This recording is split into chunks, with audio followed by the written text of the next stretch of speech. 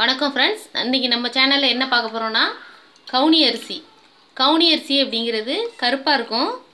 இந்த மாதிரி நம்ம அரிசி மாதிரி தீட்டாத அரிசி இது.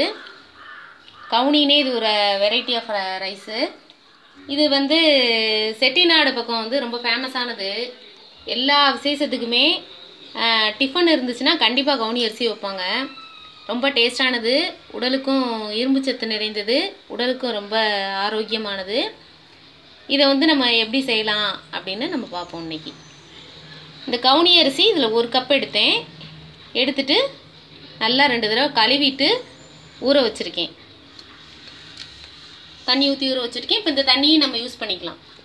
எப்படி பார்த்தாலும் ஒரு அஞ்சு ஆறு மணி நேரமாவது இது ஊறணும். அப்போ தான் வேகும். இல்லைன்னா இது வேகிறது ரொம்ப கொஞ்சம் ரொம்ப கஷ்டம். ரொம்ப நேரம் வேகணும். அதனால் ஊற வச்சு வச்சுருக்கேன். இப்போ இதை நம்ம குக்கரில் வேக வைப்போம். இப்போ இதில் ஒரு கப் நான் வந்து அரிசி எடுத்திருந்தேன். அதுக்கு நம்ம இந்த தண்ணியை சேர்த்துக்கணும். நாலு கப் தண்ணி சேர்த்துக்கணும். ஒன்று ரெண்டு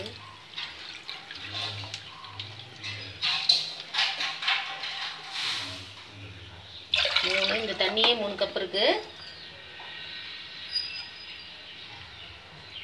அதோட ஒரு கப் நாலு கப் தண்ணி சேர்த்துட்டேன்.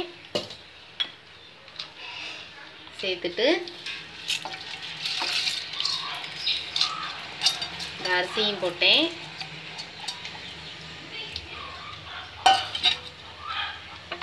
போட்டு மூடி விசில் போட்டு ஏழு இல்லைன்னா எட்டு விசில் வர்ற அளவுக்கு நம்ம விட்டுறணும்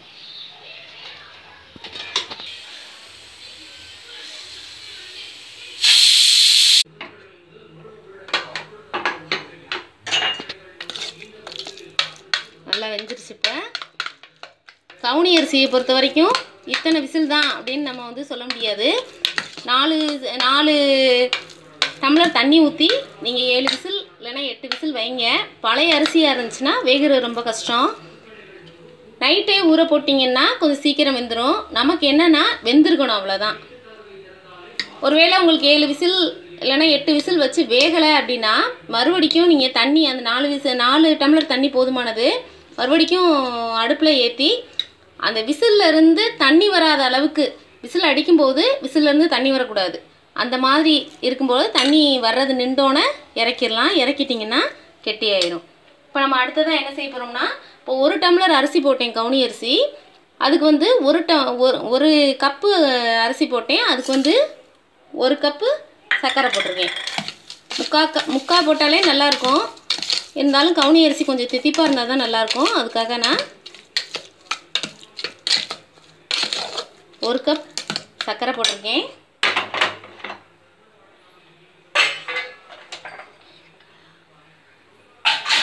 சர்க்கரை கை கரையை அடுப்பில் ஏற்றுவோம்.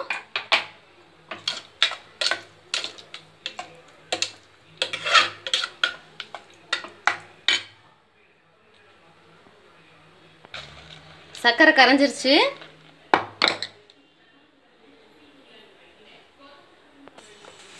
இப்போ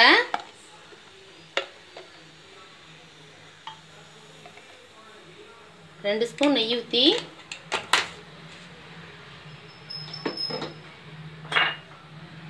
நம்ம வச்சிருக்க முந்திரி பருப்பையும் ரெண்டு ஏலக்காய் தட்டி வச்சுருக்கோம். அதையும் போட்டுருவோம்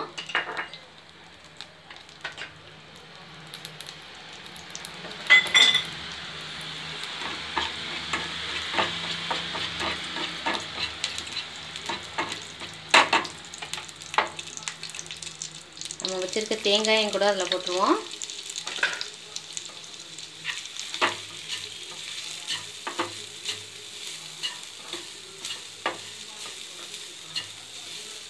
வெங்காயம் போட்டு நல்லா வதக்கிட்டு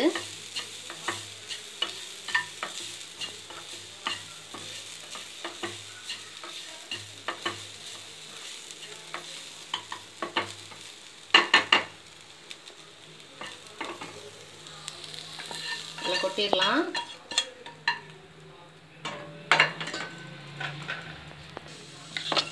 இதில் கொட்டி கிண்டிட்டேன். இதை கொஞ்சம் நேரம் அடுப்பில் வச்சுருவோம்.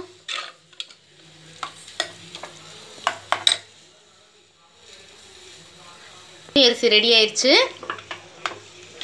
அரிசி வேகலைன்னு யாரும் பயப்பட வேண்டாம்.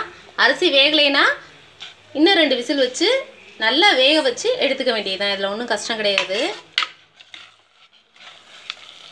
அரிசி பழைய அரிசியாக இருந்தாலும் வேகாமல் இருக்கும் சில நேரத்துக்கு. அதனால் ஏழு டம்ளர் தான் ஊற்ற சொன்னாங்க. ஏழு டம்ளர் தான் நம்ம ஏழு விசில் தான் வைக்கணும் அப்படின்லாம் அவசியம் இல்லை. பாரம்பரிய செட்டிநாட்டு உணவு கவுனி அரிசி ரெடி ஆயிடுச்சு நீங்களும் வீட்டில் செஞ்சு பாருங்கள் டேஸ்ட் பண்ணுங்கள் உங்களுக்கு பிடிச்சிருந்துச்சுன்னா லைக் பண்ணுங்கள் ஷேர் பண்ணுங்கள் சப்ஸ்கிரைப் பண்ணுங்கள் பக்கத்தில் ஒரு பெல் பட்டனை கிளிக் பண்ணுங்க.